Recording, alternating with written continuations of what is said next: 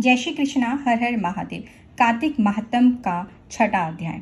तो नारद जी कहते हैं, जब दो घड़ी रात बाकी रहे, तब तिल, कुश, अक्षत, फूल और चंदन आदि लेकर पवित्रता पूर्वक जलाशय के तट पर जाएँ। मनुष्य का खुदवाया हुआ पोखरा हो अथवा कोई देव कुंड हो या नदी अथवा उसका संगम हो, इनमें उत्तरोत्तर दस गुने पुण्य की प्राप्ति होती है। तथा यदि तीर्थ में स्नान करें तो उसका अनंत फल माना गया है। तत्पश्चात भगवान श्री हरि विष्णु का स्मरण करके स्नान का संकल्प करें तथा तीर्थ आदि के देवताओं को कर्मशा, अर्घ्य आदि निवेदन करें।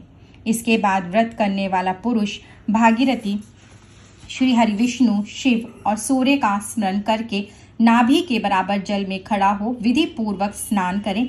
गृहस्थ पुरुष को तिल और आंवले का चूर्ण लगाकर स्नान करना चाहिए।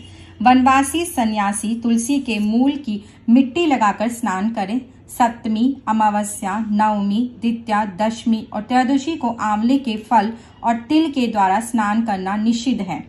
स्नान के पश्चात विधि पूर्वक देवता, ऋषि, मनुष्य तथा पितरों का तर्पण करें। कार्तिक मास में पितृ तर्पण के समय जितने तिलों का उपयोग किया जाता है, उतने ही वर्षों तक पितृ स्वर्ग लोक में निवास करते हैं।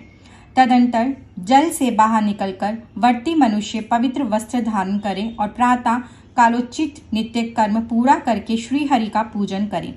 फिर भक्ति से भगवान में मन लगाकर तीर्थों और देवताओं का स्मरण करते हुए पुनः गंध, पुष्प और फल से युक्त अर्घ्य निवेदन करें। अर्घ्य का मंत्र इस प्रकार है, वर्तिनम कार्तिके मासी सनातस्य विधिवनमम ग्रहणाये मया तदम राधाय सहितो हरे।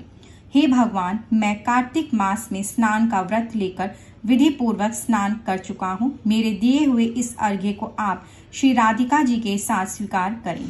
इसके बाद वेद, विद्या के पारंगत ब्राह्मणों का गंध, पुष्प और तांबुल के द्वारा भक्ति पूर्वक पूजन करें और बारंबार उनके चरणों में मस्तक झुकावे।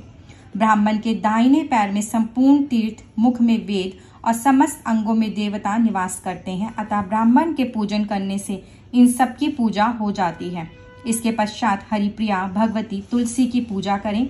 तुलसी पूजन के पश्चात व्रत करने वाला भक्तिमान पुरुष चित्त को एकाग्र करके भगवान विष्णु की पौराणिक कथा सुने तथा कथावाचक विद्वान ब्राह्मण अथवा मुनि की पूजा करे, जो मनुष्य भक्ति युक्त होकर पूर्वोक्त संपूर्ण विधियों का भली भांति पालन करता है, वह अंत में भगवान नारायण के परम धाम में जाता है। भगवान श्री हरि विष्णु और माता लक्ष्मी की जय हो।